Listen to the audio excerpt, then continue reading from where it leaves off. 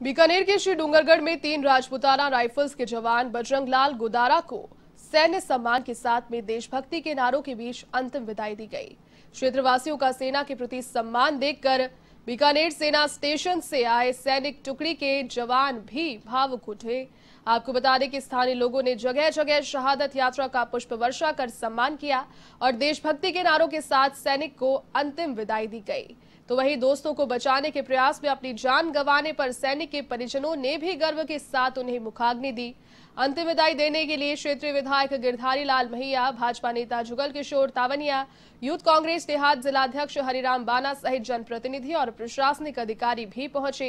हालाँकि ग्रामीणों को इस दौरान अपना दिल पत्थर का करना पड़ा, क्योंकि एक ही दिन में एक ही घर से दो अर्थियों को कंधा दिया। पहले चाचा परमेश्वर लाल गुदारा की अर्थी निकली तो बाद में भतीजे सैनिक बजरंग लाल गुदारा की, जिससे कि पूरे गाँव में शोक की लहर छा गई।